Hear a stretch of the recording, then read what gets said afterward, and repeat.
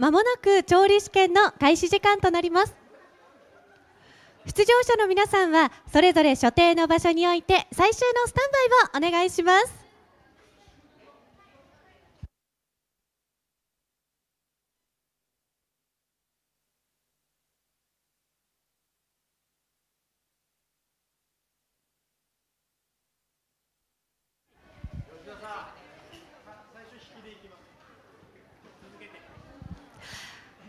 それでは調理試験を開始していきましょう。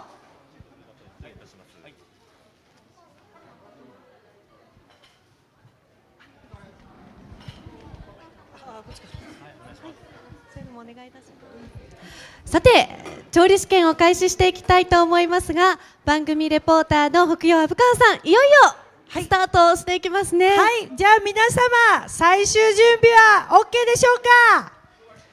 OK そうですね。それでは堀江シェフスタートの掛け替えをお願いいたします。失礼いたしました。あっと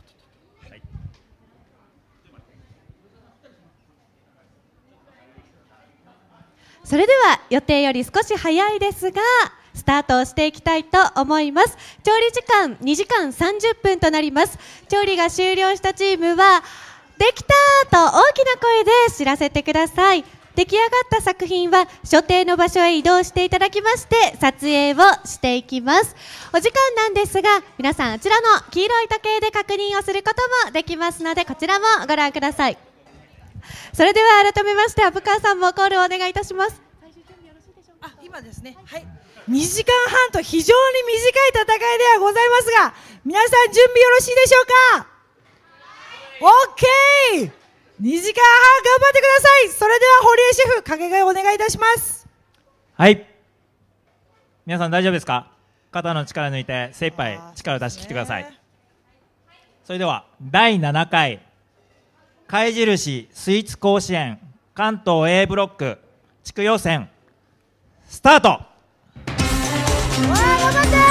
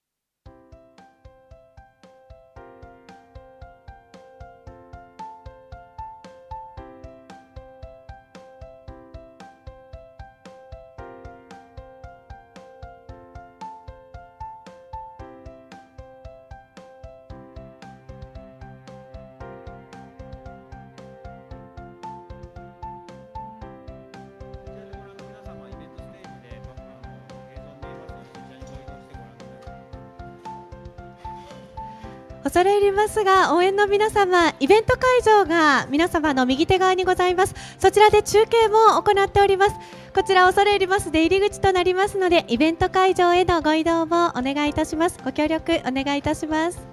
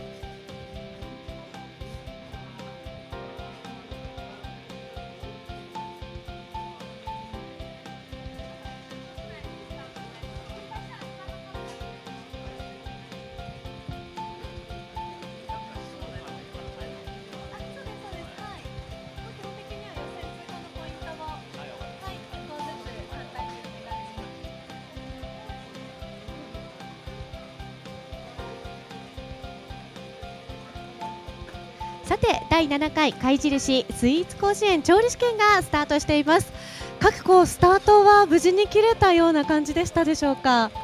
はい、そうですね、あのー最初、皆さん緊張気味でしたけど、今、スタートして、ちょっと一通りお声掛けしたんですけど、もうなんか声かけないでくれっていうような 雰囲気で、えー今、猛烈な勢いでやってますね。スタートしましたね、さてまずは簡単にこちらのスイーツ甲子園概要をご説明していきたいと思いますスイーツ甲子園とは貝印株式会社が主催している高校生を対象としたスイーツコンテストです。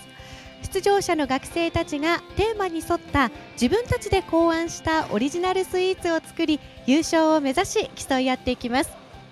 本日は関東ブロック予選大会としまして65チームの中から厳選な書類審査を追加し予選を突破した5チームの皆さんに決勝大会進出をかけて自分たちの考案したスイーツ作りに腕を振るっていただきます。さて予選大会こちら書類審査を通過した5チームの参加となっていますが1校ずつその書類審査を通過したポイントを教えていただきたいなと思います。はい、かしこまりました。まずはですね麹町学園女子高等学校。こちらなんですが、書類の通過したポイントを教えてくださいそうですね、まずですね、この可愛らしいマジパン、えーを見て、まあ可愛いな、高校生らしいなっていうところと、えーまあ、私たちがよく使う素材のマスカルポーネというチーズがありますが、それと抹茶を組み合わせた組み合わせっていうのが、えー楽しみだなと思いまして選びました。では続いてレコールバンタン高等部。こちらについても書類審査通過したポイントを教えていただきたいと思います。はい、こちらはですね、あの飾りもすごく、えーまあ可愛らしいお花畑のようなイメージで、えーまたそのおもてなしというテーマの中でほうじ茶と、えー、木いちごを使った、えーお菓子の組み合わせが、えーとても食べてみたいなと思わせるような作品だったので選びました。ほうじ茶と木いちごの組み合わせなんですね。そうちょっと面白そうですね,、はい、ですね。はい。では続いて早稲田大学継続早稲田実業学校高等部の書類審査のポイントを教えてください。はい、えー、と作品はあのや名はあの安らぎという名前なんですが、えー今回のテーマはおもおもてなしというところで、えーとてもこう和風のイメージで、えーなおかつこの断面図が非常に複雑になってますので、えー食べる場所によってこういろんな味が楽しめるんではないかなと思いまして選びました。うん完成がすごく楽しみになりますね。ね。はい。では続いて参りましょう。続いては世田谷総合高等学校のポイント教えてください。はい。えーとですね、こちらの学校はですね、まずあの素材にあのメロンを使っておりまして、えー私たちもメロンという素材を使う上で非常に難しいです。で、理由としましては、えーどうしてもなんかこうメロンだとこう野菜っぽくなってしまうというのか、きゅうりっぽくなっちゃう味になってしまいますので、それを、えーまあどうやってまとめて、えー食べさせてくれるのかなというところで選べ選びました。はい。シェフたちでもメロンを扱うのは難しい。そこをどうやって持っていくか。そうですね。はい。楽しみですねはい、楽しみですね。はい。では最後に横浜市立南高等学校のポイントお伺いしたいと思います。はい。こちらもですね、あの見た目なんですが、まずあのこのマジパンで作ったマジパンなのかな、この細工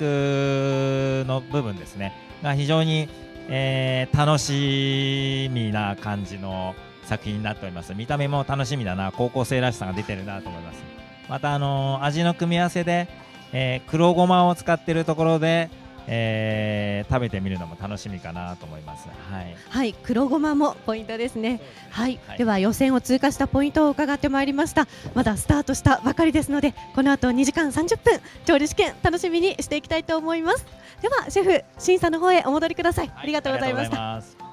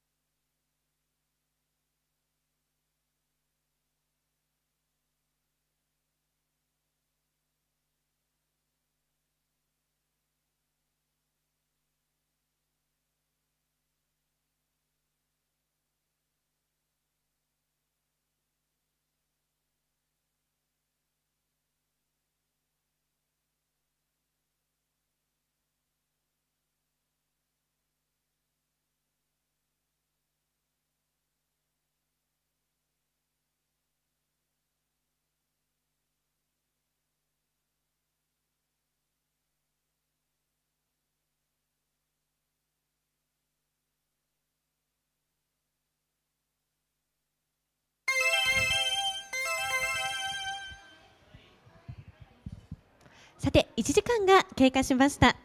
それではシェフにちょっとお話を伺っていきたいと思います。堀江シェフこちらへお願いいたします。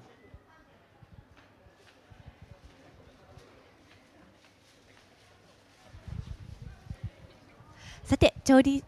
試験が始まりまして1時間が経過しましたがここまでご覧になっていかがですか？そうですね、あのーかなり、えー進んでるチームもありますし、えー少し生地あのビスキュイとかですねそういったものでちょっと苦戦してるチームもあるかなと思います。はい、はい、いつもとやっぱり勝手が違いますからね。そうですね。でもみんな、あのーかなりしっかり、えー落ち着いはい。て作業していると思います。はい。それではですね各チームの作品のテーマや特徴などを簡単にご紹介していきたいと思います。まずですね麹町学園女子高等学校ですがおもてなしをしたい相手は両親それぞれの両親共通で好きな抹茶を使用しているということです。作品名は感謝をするというところから感謝り。このシャリという食感はフィアンティーヌで表しているということですが麹町へ麹町学園女子高等学校進捗状況いかがでしょう？はい、えーっとですね、今もう、あのー、2人は上に乗せる細工の方に取り掛かってますし、1人の子が今、中のムースの方を作ってますけど、えーその先ほどのシャリっていう部分ですが、あのー先ほどボールの中に入っているのをちょっと確認しまして、あれが中に入っていくんだなと思います。はい、はい出来上がり楽しみですねそうですね、はい。では続いて2チーム目レコールバンタン高等部ですが作品のテーマおもてなしは癒しとくつろぎであると考えたそうです癒しはお花でくつろぎは女の子で表現をする食べる人の想像を超えるような味を表現したいということでしたがこちらいかがでしたでしょう？えーっとですね、こちらのチームも、えー作業進行としましては、えーかなり進んでるんではないかなと思います。で、もうみんなあのよく手際よく作業してますので、えーまあ、見た目には何を作ってるかわからないような、えー状態ですので、えー後で食べてみるのが非常に楽しみです。はい出来上がりがまた楽しみですね,、はい、ね。続いて3チーム目早稲田大学継続早稲田実業学校高等部の皆さんはおもてなしといえば茶道と考えたそうです。茶室での海外の方へのおもてなしをイメージした作品。こちらは抹茶と柚子を使用しましてさまざまな味の表情を出す工夫をしているそうです。こちらはいかがでしょう？はい、えー、とですね、こちらも非常になんか声が出て、えー何々を何度で焼きますなんていう声が出て、すごく、えー、ハキハキしながら楽しそうに作っているのが見受けられます。はいで、あの作業の進捗状況はちょっとわからないですが、えー先ほどムースとか、あと生地の方とかも今、えーセルクルというか型にはめてってる状態ですので、えーまあ順調に進んでるんではないかなと思います。はい、すごくチームワークが良さそうなそうですね。はいイメージ。ですね。はい、続いては世田谷総合高等学校の皆さんですがこちらはですね見た目が涼しげでさっぱりとして食べやすいケーキを作ろうと考えたということですブルーハワイのゼリーを使用しているので青い表面が青いゼリーでのコーティングになりそうですねはい。えーっとですね、こちらはですね、先ほど少し見た感じでは、もうすでに中のムースと言われるような部分というのはもう完成されて、えー冷凍庫の中に今入っている状態ですので、えー作業の進捗状況としましてはすごくいいんではないかなと思います。これから多分それが固まったら上のブルーハワイの部分が流されて、えー仕上げの方に入っていくのかなと思います。かなり順調に進んででいるようですねすね進んでると思います。はい。では最後に横浜市立南高等学校です。こちらはですね外国の方をおもてなしの対象にしたいと考えたそうです。和の味としては黒ごまを使用。先ほどシェフからも、ははいい審査が通った予選の審査を通ったポイントとして挙げられましたが言葉が通じなくても一緒に楽しめるお祭りをおもてなしと考えての作品だそうです。こちらいかがでしたでしょう、そうですね、こちらもですね、えー生地の方では、えーすごくなんか独性を独創性のある、えー生地を、えー作って焼いてましたので、その辺で少し、えー進捗状況が少し遅れてるのかななんて思いますけどただ、まあ、すごくチームワークも良さそうなのでこれからどんどんどんどん挽回して、えーつ仕上げてくると思いますので、えー大丈夫だと思います。黒ごまがまだちょっとまだ私メインにしてませんのでこれから作っていくと思いますのではい。後でチェックしたいと思います。和の味は黒ごまで表現しているということですねまだ1時間経過あと1時間30分ありますからこの後も引き続きシェフには審査をお願いしたいと思います、はい、かしこまりました。よろしくお願いいたしますはい、ありがとうございます。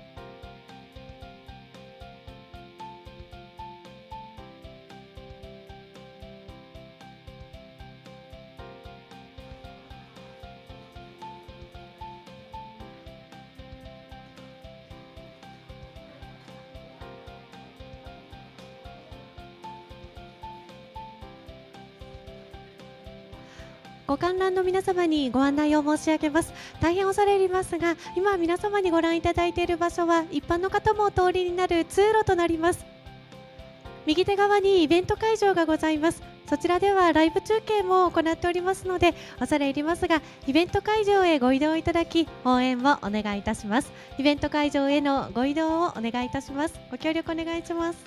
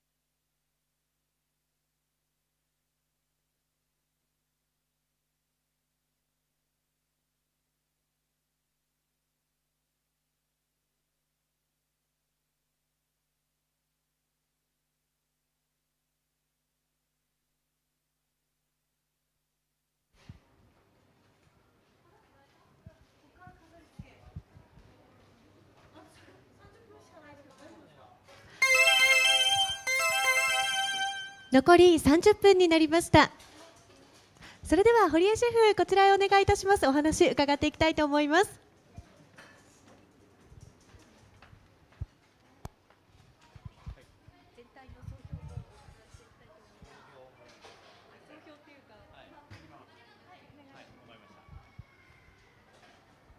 さてそれでは調理試験もわずか残り30分となりました。ここまでもう間もなく完成イメージも見えてきたかと思いますが堀江シェフにお話を伺っていきたいと思います。ここまでご覧になってみていかがですか？そうですね。あのー、もう、えー、仕上げに入っているチームもありますし、えー、まだ、あのムース中身の味の方をえー、作って流している段階のチームもありますので、えー、そちらのチームの方が少し心配ですけどまだあの時間30分ありますので最後まで頑張ってもらいたいなと思います。はい、はい、あの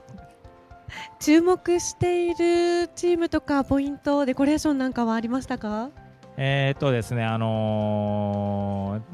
ー、すごく私たちが使うような機材を持ってきてる、えー、学校もありますし、えー、そうじゃないこう家庭にあるような器具を使って、えー、やってるところもありますしそういったところの差というのはありますが、えーまあ、それぞれ、えー、みんな自分たちの持ち味を出しているような気がします。はいはい、拝見しているともうデコレーション最後の仕上げに取り掛かっているチームなんだなっていうところも結構見受けられますね。そうですね。はい、はいあの将来は本気でパティシエを目指しているなんていう学生さんたちも多いですので、はい、シェフから見て高校生らしいところ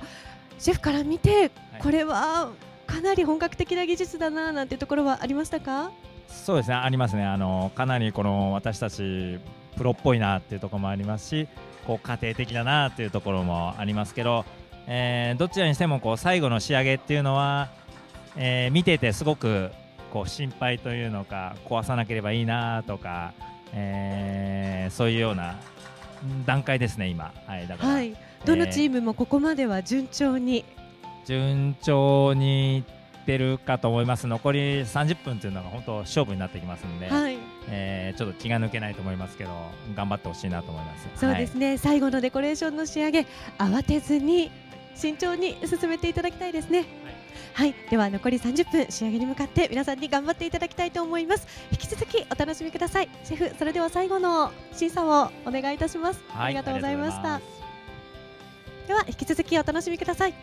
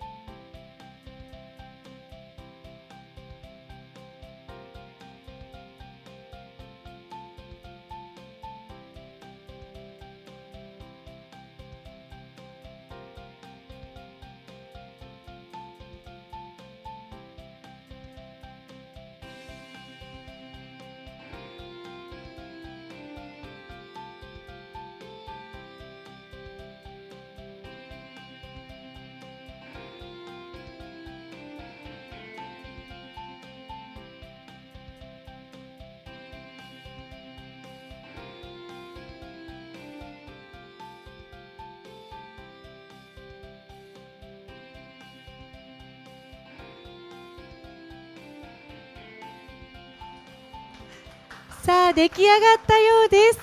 レコールバンタン高等部出来上がりました。それではこの後は作品の撮影を行いますのでスタッフの指示に従いましてそのままそちらでお待ちになっていてください。まだ残り時間23分ありますので引き続き皆様制作をお願いいたします。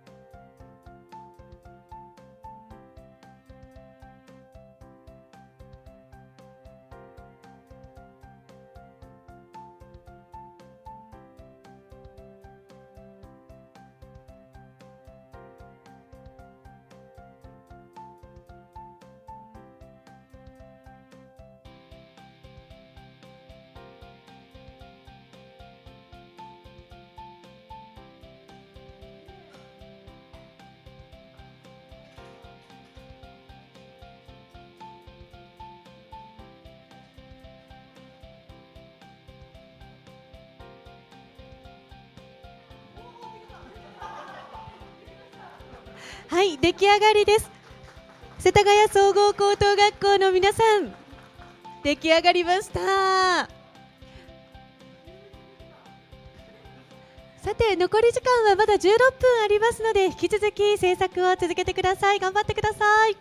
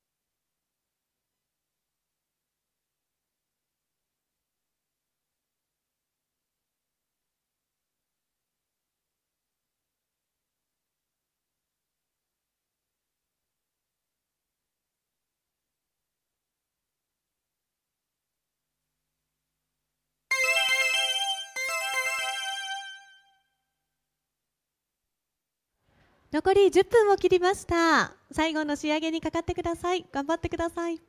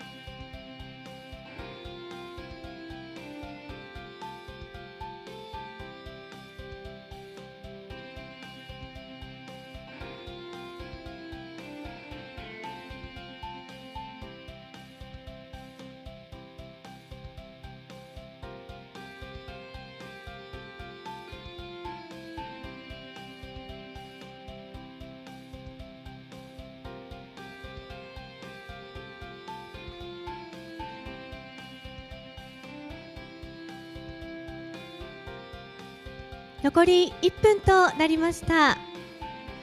制限時間の2時間30分を過ぎて完成していなくても作品は最後まで仕上げるようにお願いいたします。はいここで。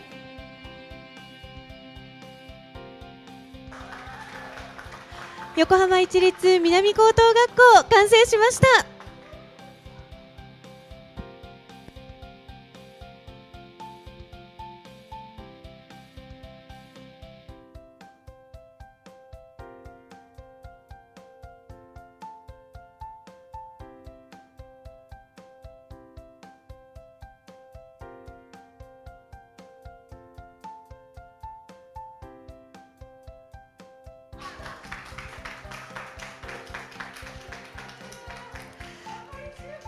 早稲田大学継続早稲田実業学校高等部出来上がりました。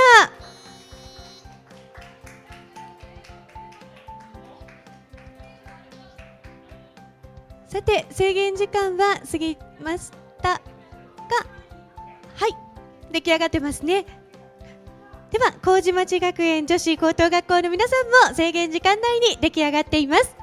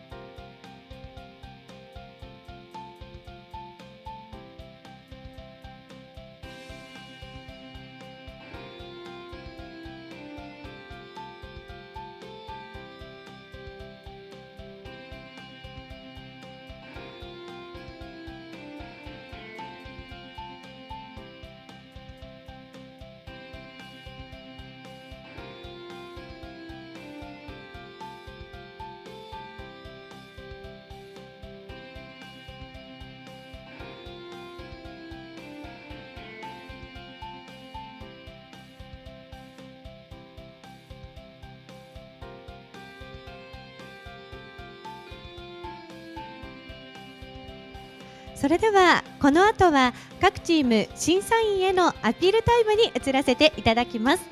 スタッフの指示に従ってイベント会場への移動をお願いいたします。スタッフが指示をいたしますのでしばらくお待ちください。